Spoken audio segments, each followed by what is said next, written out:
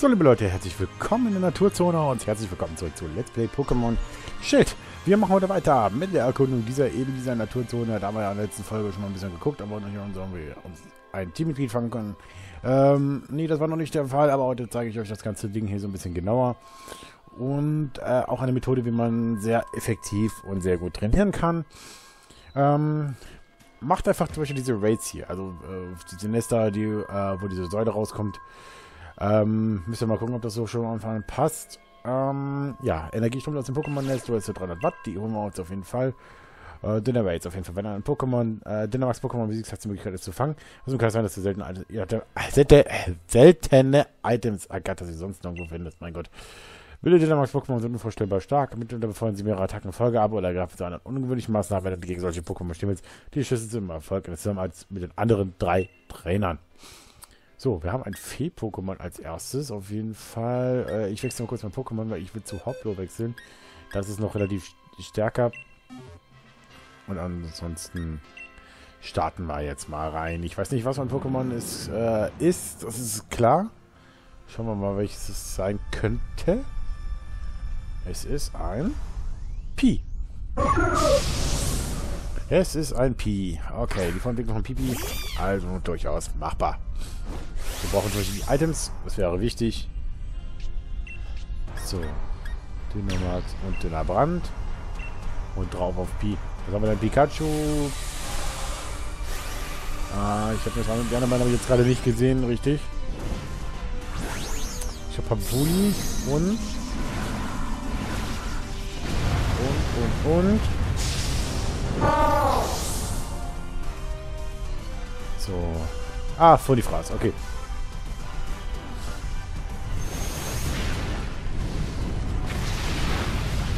What the fuck, das ist gar nichts abgezogen, oder wie viel nichts abgezogen? Das ist ein Stufe Eisenschweif. Okay, Eisenschweif geht auf von Pikachu, also Stahl ist effektiv gegen Fee. So, genau. Mit der Verteidigung zieht der Zauber ein, also eine Fee-Attacke. Alle.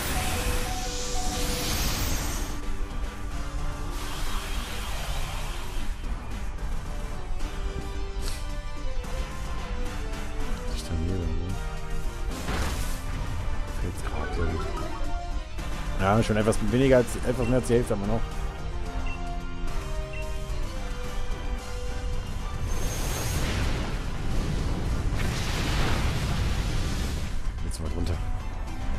Gut läuft. Ja, so richtig schön effektiv mit dem Eisenschweif drauf. Ich will das Pokémon nicht unbedingt ins Team nehmen, das ist klar. So, Pikachu. Ach, Pikachu ist verliebt, okay. Ja, und noch ein guter Attack, oder nicht das Viech down. Richtig, und das war's. Der Raid ist gewonnen. Wir haben die Möglichkeit, das Pika Pi zu fangen. Wir werden aber, wie gesagt, nicht ins Team nehmen, sondern wenn wir auf die Items gehen. Aber wie gesagt, so könnt ihr trainieren. Das gibt natürlich auch gute Items noch. Wir gucken uns die gleich mal ein bisschen genauer an.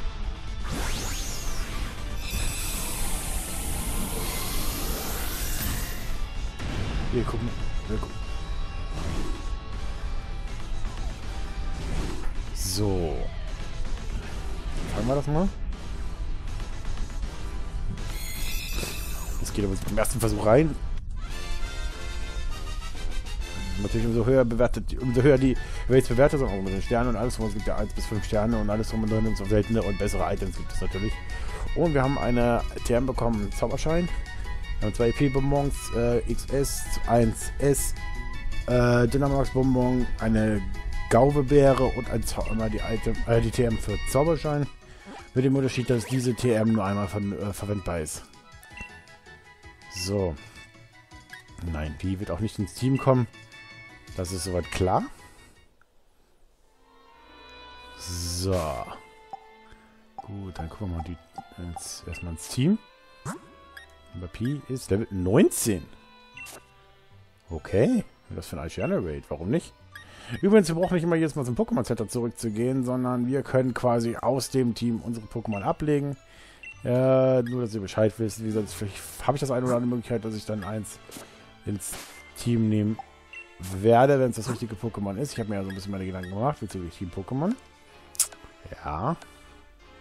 So, wir gehen mal EP-Bonbons. Wir hauen sie mal alle 5 in äh, Voldi. Gibt 500 Erfahrungspunkte, also 100 Stück pro. Und erreicht Level 9.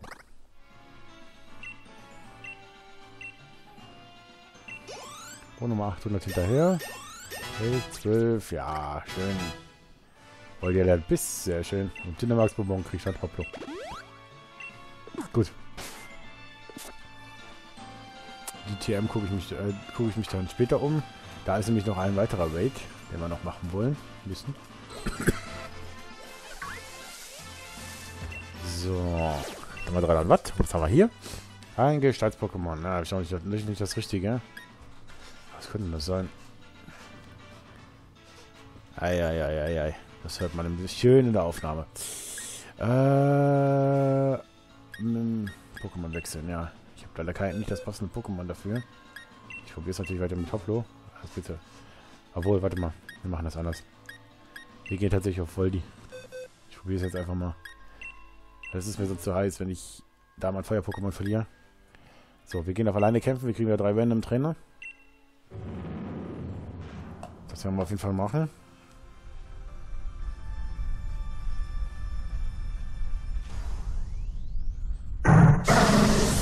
Ein Mobile. Ah, wieder ein weiteres Baby-Pokémon. Eine Freundliche von Mogelbaum. Und Nito, ja gut. Was haben wir denn hier? Also die Kampf-Pokémon sollte das durchaus... Ja, das sollte doch realistisch sein. Das wird schaffen. So, erstmal drauf auf Mobile.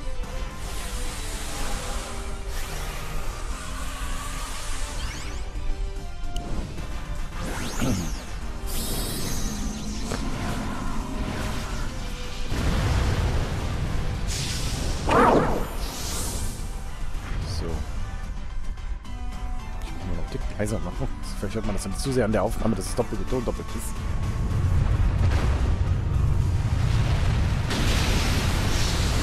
Okay, das mit dem Feuer-Pokémon hat sich relativ schnell erledigt.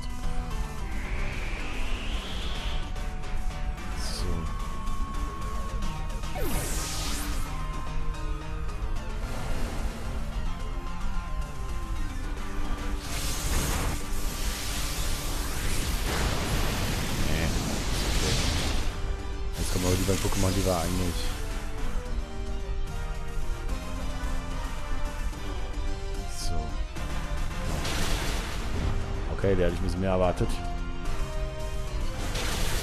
Und auch da hatte ich ein bisschen mehr erwartet. Okay, das war wohl nicht so besonders viel.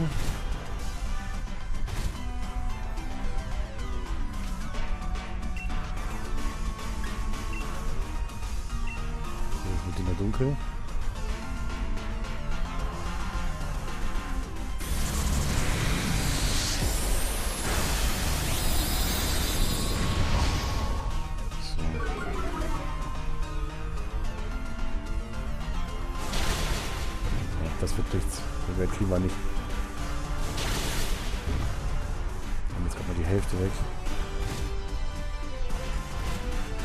Dadurch, dass die Attacken so wenig einsetzen, äh, so wenig abziehen.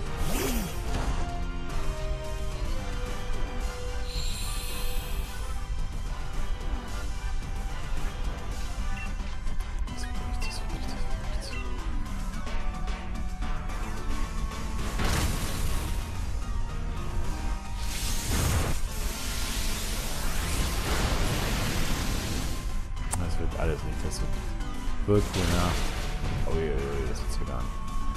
Ja, ja, egal. Trotzdem.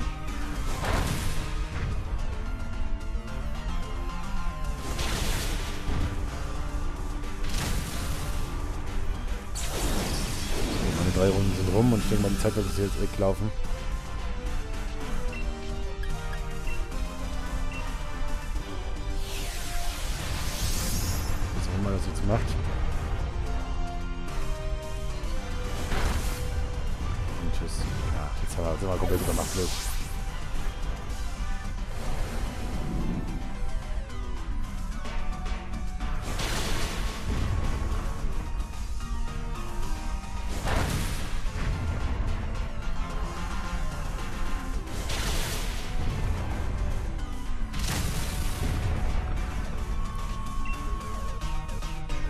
Kann nur anfeuern, leider.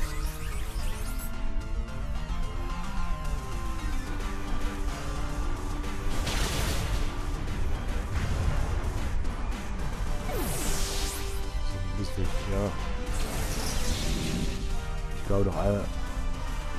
Aber wenn ich Glück habe, kommen wir es doch hin. Komm, noch. Vergeltung, wenn ich nicht Glück habe. Ja, doch noch. Mit bisschen Glück haben wir es auch noch hingekriegt. Nicht erwartet, nicht erwartet. Okay. Ja, man merkt, wir brauchen Training. Fange mir das Pokémon auf jeden Fall. Ich nehme den Pokédex einfach gerne mit. Das hätte nicht eine Runde länger dauern dürfen, dann wäre es nicht vorbei gewesen.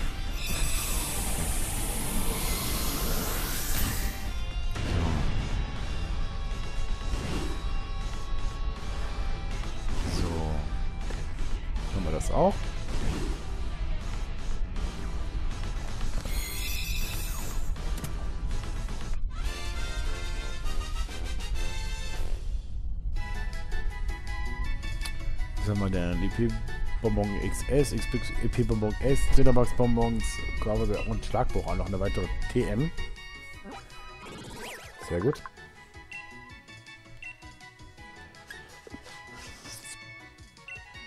So. Okay, dann haben wir das soweit auch. Wir machen jetzt noch ein paar Raids. Das heißt, wir nehmen auf jeden Fall den EP-Bonbon S. Level 20. Ja, warum nicht? Nehmen wir das Level 19. Jetzt haben wir Level 20. Wir ziehen mal gerade ein bisschen unser Team hoch. Doppelkick, sehr schön. Da habe ich ein bisschen mehr Möglichkeiten jetzt, was Attacken betrifft. Nehmen wir mal Heuler raus. So. Und links geht auf Voldi.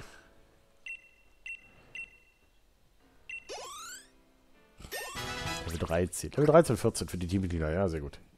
Und die TMs kriege ich gerade noch nicht beigebracht, ne? So.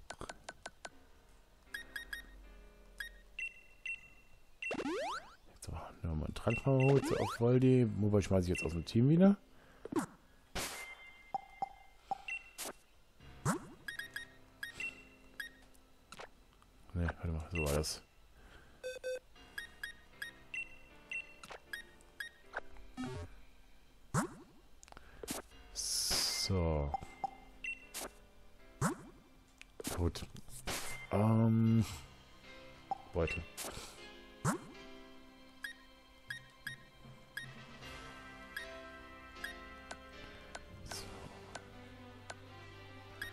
Zauberschein und Sakura. Ja gut, können wir noch nicht beibringen. Okay. Stenschauer schon, aber die anderen nicht. Gut, da machen wir weiter. Hier diese Vadribi habe ich auch lange überlegt, ob ich sie nicht ins Team ziehen möchte, mal irgendwie. Aber das machen wir nicht hier in der Edition. Oh, ein... Ich nehme kurz das Ding da oben mit. Wir können ja auch da, genau, wir können ja auch da rumlaufen. Ja, okay, alles gut. Dann können wir nämlich den Einwelt... Oh, Hand vom Prost. Das wird wahrscheinlich viel zu stark sein für uns. Ah, 50 warten wir mal mit. Ah, das ganze Ding müssen wir mal auch nach und nach erkunden. Wir kommen eh nochmal zurück im Laufe der Story.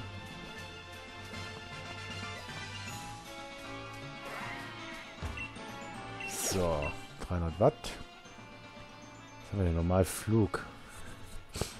Na gut, das trifft sich halt, das ist so viel Horo, äh, einen Hotozahn. Ja, dann nehmen wir das mit. Weil da Voldi nehme ich jetzt, da kann ich Voldi nämlich jetzt, äh, mitnehmen. Das ist gut. Aber ein Raid machen wir noch, komm.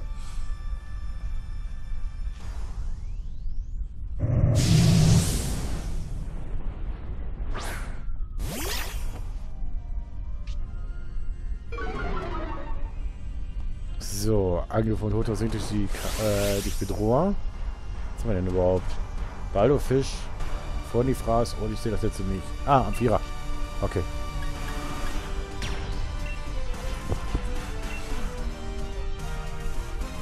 Vierer. Oh, warum nicht? Das Gift. Pokémon aus Generation 7, also das Feuer. Bei Ultra Sonne haben es gespielt. Da sind wir noch. Das ist ganz cool. Gibt es jetzt auch nun weiblich. Also das weibliche Million entwickelt sich quasi dann weiter. Männliche wird dann wie es ist. Okay, das ist Flugattacke. Jetzt geht aber das Phonifass weg. Und wo ist deine Initiative?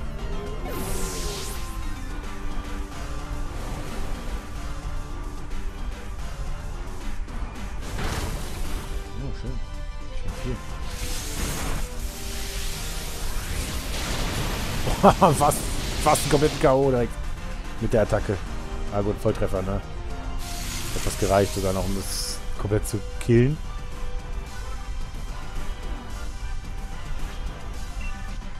So, ich habe leider keine Möglichkeit, jetzt gerade einen Ruckzuck mal einzusetzen oder so.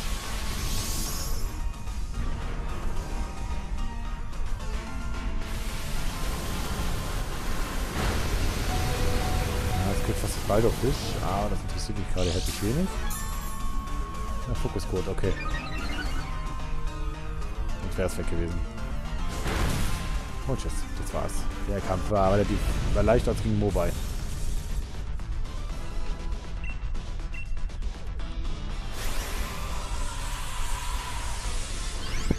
Der war leichter als gegen Mobile.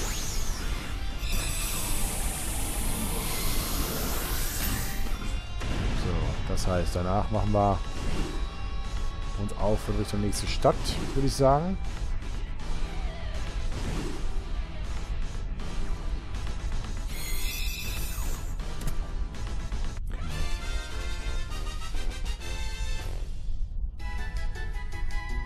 Die Plätte. Okay.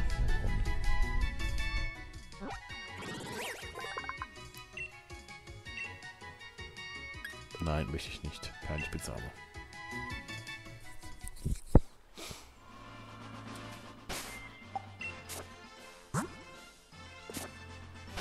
Halt. Bitte, raus damit. Tot. Ah, drei Welt-Pokémon gefangen. Okay, wunderbar. So, Beutel. Äh, Items kann ich nicht mitnehmen. Aber die IP-Bonbons nehmen wir mit. Hopplo. Rauf damit. Der wird 16. Sehr gut. Das würde jetzt eigentlich sogar schon zur ersten Entwicklung reichen. Ja.